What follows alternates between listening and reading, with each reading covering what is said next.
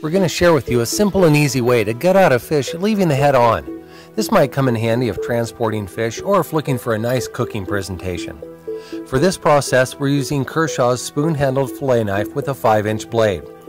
We're going to start by putting the fish on its back and inserting the knife at the base of the anal fin, cutting all the way up.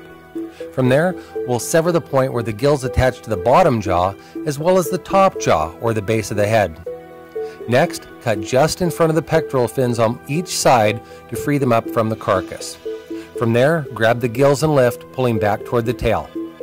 Last, make a slit the entire length of the kidney and scoop it out with the spoon section of the knife.